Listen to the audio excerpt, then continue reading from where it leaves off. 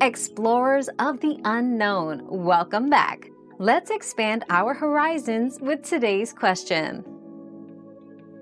If by activate gamma, you're referring to activating or enhancing gamma brainwaves, this is typically achieved through mental activities or stimulation techniques.